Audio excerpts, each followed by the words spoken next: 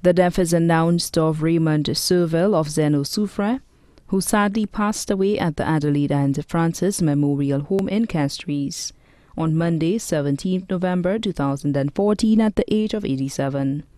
The funeral arrangements of the late Raymond Serville of Zeno will be announced in a subsequent broadcast. The body now lies at Lazarus Funeral Home, New Dock Road, Beaufort. May he rest in peace.